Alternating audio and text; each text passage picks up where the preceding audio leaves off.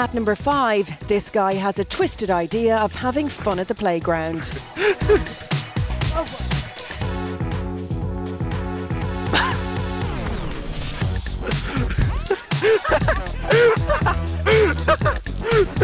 At number four, standing on your own two feet when it comes to fitness can be hard.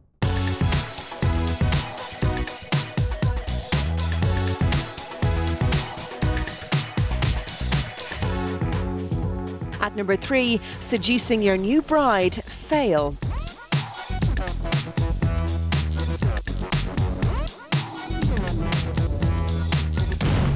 At number two, it's not just humans that pause and pray during the Angelus.